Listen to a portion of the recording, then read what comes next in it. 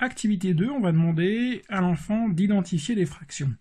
Alors, l'idéal, il y a un support qui sera en ligne, c'est d'avoir déjà des supports partagés.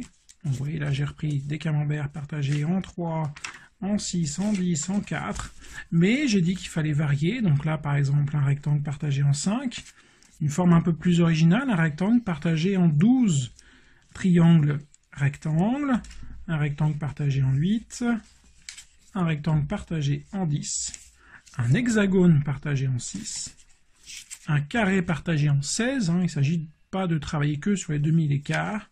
Euh, là, je retrouve un disque en huitième, en demi. Et puis, pourquoi pas, un, un carré partagé en 100. Donc, le support est en ligne. Vous les imprimez si vous le pouvez. Sinon, vous les fabriquez. C'est un peu fastidieux, mais ça peut se fabriquer. Et puis, euh, voilà, je colorie des parties. Et je demande à l'enfant à quelle fraction cela correspond. Donc ici, j'ai bien une partie coloriée sur un rectangle partagé en 1, 2, 3, 4, 5.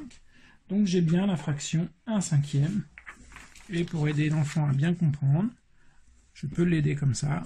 1. J'ai bien pris une partie sur un découpage en 5. Et puis je reproduis ce travail, voilà, avec d'autres supports.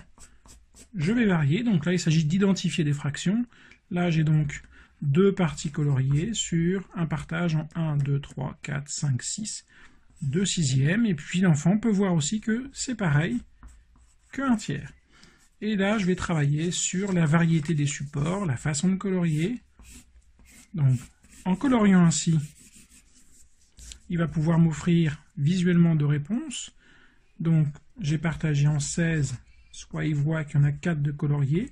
Certains voient directement qu'effectivement, ça fait bien un quart. Voilà sur ce travail d'identification des fractions à partir de différents supports qu'on a fabriqués.